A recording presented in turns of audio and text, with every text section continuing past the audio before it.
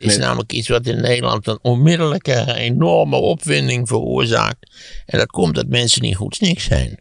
Die denken namelijk dat je elke dag eh, minimaal een half uur onder een onder 70 liter warm water moet Ja. staan om een gezond mens te worden. Dat is de grootst mogelijke onzin. Sterker nog, Het is ongezond. het is ongezond. Ja, dat heb je al eens gezegd, ja. Ja, ik heb het ook nog eens in een talkshow gezegd. En toen zat er toevallig een dermatoloog, maar in ieder geval een deskundige bij. En nadat iedereen had gezegd, oeh, wat erg, die van Rossum. Zo, ruikt die ook? En zei die dermatoloog, van Rossum heeft groot gelijk. Er veel onderzoek gedaan naar dat stomme gewas van ons. Vooral als je zeep gebruikt.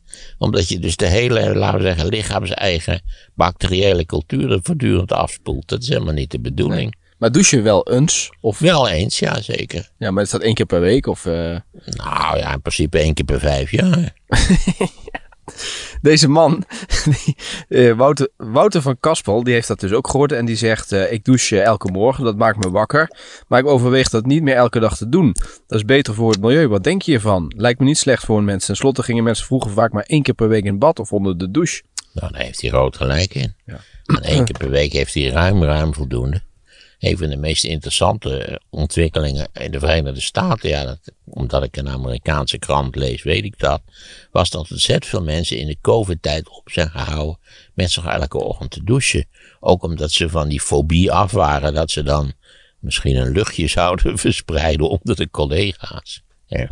Ik had een collega die, als je die tegenkwam, die rook zo fris, dat je je echt op moest passen dat je niet flauw viel van de frisheid. En die had parfum op of zo. Op de nee, ik denk va, Oh, va doucheschuim, denk ik, ik weet het. ja, ruik je dat zo scherp dan nog? Maar dat wassen, dat is zoiets wonderlijks, die opwindingen. En dan moet je weten natuurlijk dat dat gewas natuurlijk een heel recent verschijnsel is.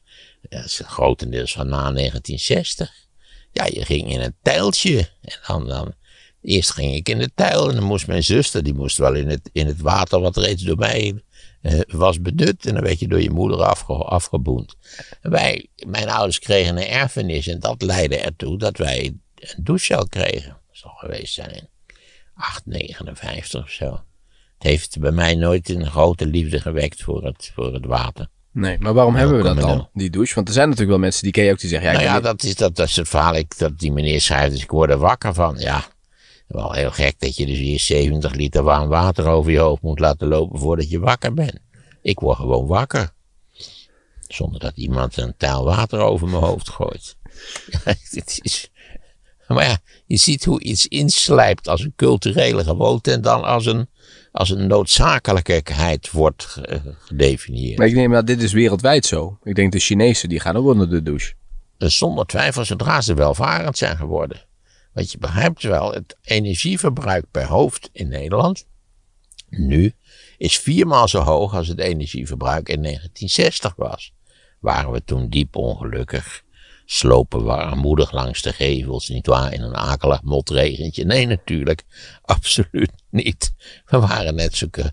Sterker nog, ik denk als je het zou meten, het is nooit gemeten, dat we toen tevredener en gelukkiger waren dan, eh, dan we nu zijn.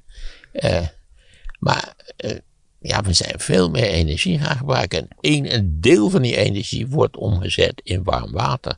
We gaan, het zijn ook meer auto gaan rijden en zo. Dus het, zijn, Ja. het is een stapeling van factoren. Maar eh, ja, dat warme water, dat moet wel eh, warm gemaakt worden. Ja. Dan heb je natuurlijk enorme Spartaanse types die gaan in het, onder de koude douche. Dat, ja, dat, eh, Ja, dat dat, risico ben ik niet geneigd te nemen.